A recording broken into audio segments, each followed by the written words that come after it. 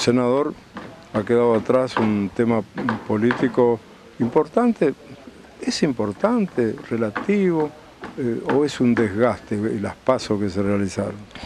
Yo creo que son importantes, la posibilidad de que aparezcan, diríamos, candidatos en las internas y que cada uno fije su posición o su mirada como espacio político, creo que es interesante. Nosotros no lo tomamos de esa manera, a pesar de, que la candidata que acompañamos, que es Alejandra Rodena, no pudo ganar la elección, hizo una muy buena elección, superó prácticamente el espacio, el nuevo espacio santafesino, superó al Frente Progresista Cívico y Social en la provincia de Santa Fe. Es una mirada que tenemos de construcción dentro del justicialismo y que obviamente como todas las cuestiones que tienen que ver con la política, los resultados no se consiguen de un día para el otro, sino que es el ejercicio y el trabajo constante dentro de, diríamos, de, una coherencia y dentro de un partido. Así que nosotros estamos satisfechos por dos motivos.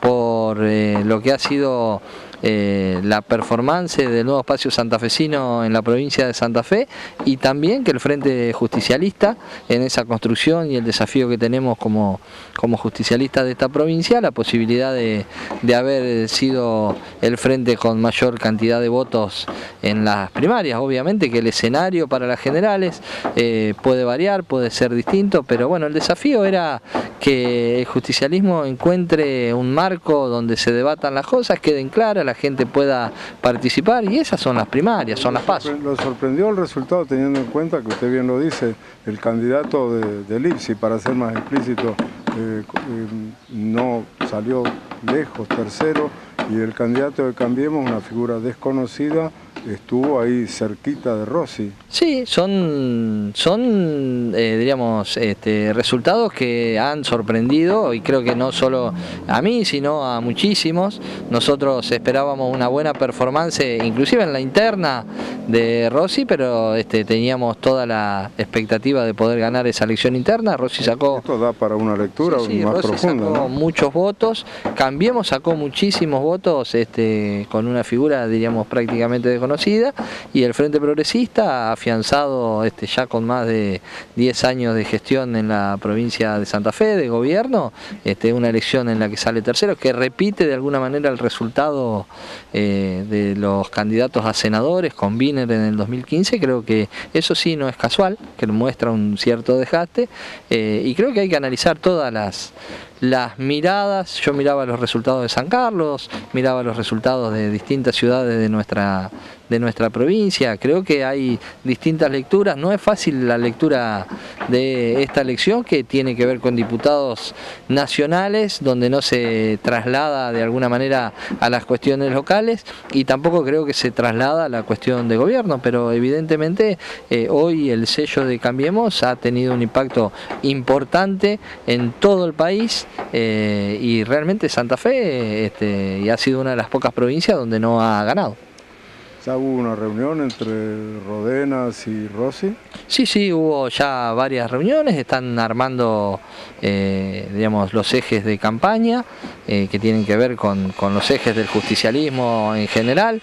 Mañana tenemos una reunión en el, eh, del Consejo Ejecutivo Provincial donde este, lo va a presidir ya Ricardo Olivera, que nuevamente está en funciones y bueno, seguramente, no sé si mañana o en los próximos días habrá una reunión donde tiene que ver con el presidente del partido y los candidatos que integran la lista del Frente Justicialista para definir este, la campaña de cara a octubre.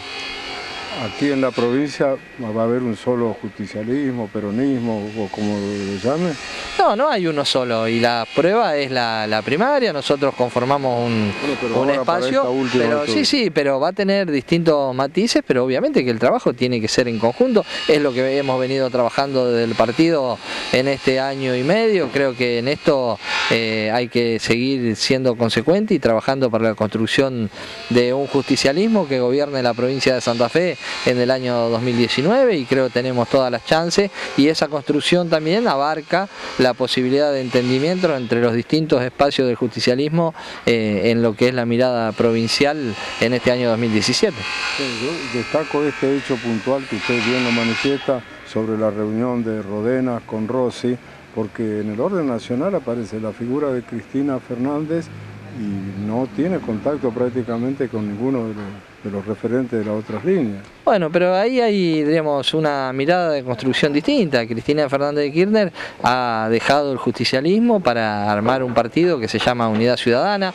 Son cuestiones distintas, cada provincia tiene sus particularidades. Nosotros tenemos una construcción que hoy es amplia en la mirada de la diríamos, de, de, poder recuperar desde el justicialismo el gobierno de la provincia y que tiene que ver con distintas instancias, la partidaria, que comenzamos el año pasado, esta que tiene que ver con la legislativa, donde tenemos un dirigente este, con todas las probabilidades y posibilidades de ser gobernador de la provincia de Santa Fe, que es Omar Perotti también, con quien dialogamos, conversamos, estamos eh, trabajando con esa mirada.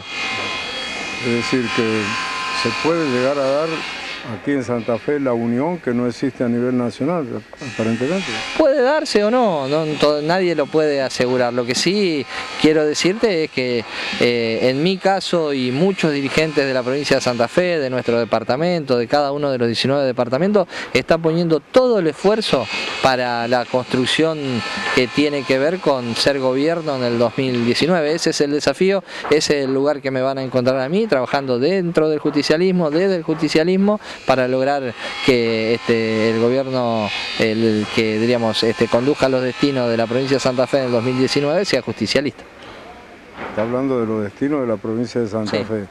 Y la nación también en el 2019 en, el mismo, sentido. Y a nivel nacional creo que el justicialismo todavía tiene un debate que tal vez este, viene más atrás que lo que nosotros hemos podido ir construyendo a nivel provincial. Hay muchísimos dirigentes que tienen que ver con el último gobierno este, que inclusive hoy tienen líneas internas distintas a la de la, a la expresidenta y hay muchos gobernadores entre ellos gobernadores jóvenes del justicialismo que ya aspiran a tener la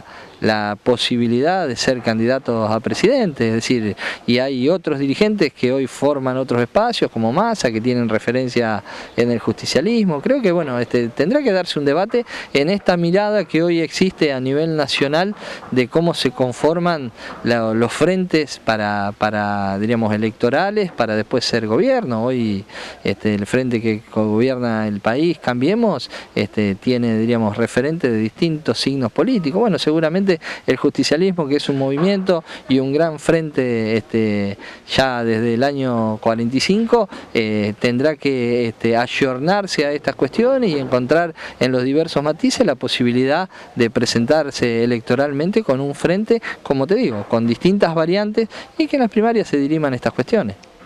Los medios afines y aquellos que también no son tan afines al kirchnerismo a Cristina Fernández hablan de que va a salir a recorrer las distintas provincias ella. Eh, está bien, yo creo que... van a recibir?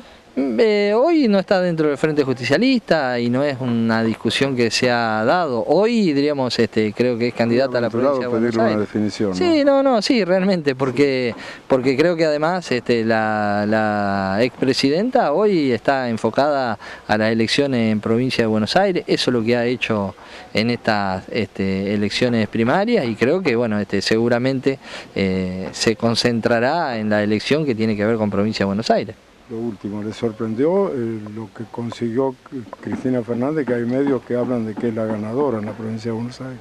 No, yo creo que es un gobierno que se ha ido con un índice y, diríamos, este, que uno lo mira eh, en lo que fue la elección primaria, eh, donde este, el Frente para la Victoria en su momento había ganado, hubo un, un balotage y en ese balotage eh, gana Macri por una diferencia muy ajustada, es decir que yo creo que este, hasta un 40% yo estimaba que en provincia de Buenos Aires la expresidenta podía tener. Y bueno, esas son las las variantes de lo que tiene la política. Si yo siempre digo, si en la provincia de Santa Fe en el año 2015 hubiera habido balotage, seguramente el gobernador de la provincia de Santa Fe no fuera del Frente Progresista Cívico y Social, hubiera corrido la misma suerte ante, digamos, ante eh, el PRO eh, que corrió Daniel Scioli respecto de Macri. Esta es la realidad. Es decir, muchas veces los condicionantes o las situaciones en las cuales se dan hacen que se den determinadas situaciones. En la Santa Fe hubiera sucedido algo muy similar a lo que sucedió con provincia, con la nación y después eh, seguramente en esta elección podría haber sucedido lo que ha sucedido con el Frente Progresista que no superó este, prácticamente este, los 200.000 votos o eh, tener diríamos un piso eh, que electoralmente siempre tuvo el Frente Progresista pero bueno como son cuestiones que se van modificando año a año y elección a elección son muy difíciles de hacer. acuerdo al avance. Exactamente, exactamente. Muchas gracias. Gracias a vos.